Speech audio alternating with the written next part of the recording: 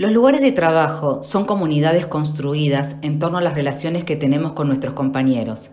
Pero afrontémoslo, el trabajo puede ser estresante, después de una reunión particularmente frustrante, podés explotar y perder los estribos. Tal vez querés pensar que solo fue un mal día y fingir que no pasó nada. A los demás no les va a pasar eso, de manera tal que te recomiendo abordar la situación con humildad e intención. He aquí algunos pasos que te van a ayudar con cómo proceder. Expresa pesar por lo que pasó. Explica lo que salió mal. Reconoce la responsabilidad de lo ocurrido. Realiza una declaración de arrepentimiento.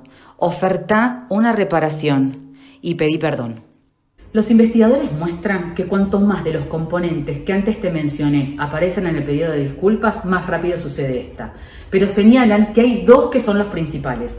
Uno es asumir la propia responsabilidad y el otro es ofertar una reparación. Pero no quiero dejar este video sin ayudarte a hacer algunas preguntas. ¿Fue esto algo esporádico o es algo recurrente? Y si es algo recurrente, ¿qué es lo que te tiene tan estresado? ¿Qué es lo que te hace sentir vulnerable a la defensiva en el trabajo? ¿Qué tipo de vínculos te enojan? Es muy importante que reflexiones sobre esto porque gran parte de estos comportamientos también hacen a tu reputación. Sabemos que reparar una relación que se dañó en el trabajo es un desafío importante, pero con consistencia, con enfoque y con humildad seguro lo vas a poder conseguir. Y no te pierdas otra entrega de One Minute Management Skills by Learning on Demand.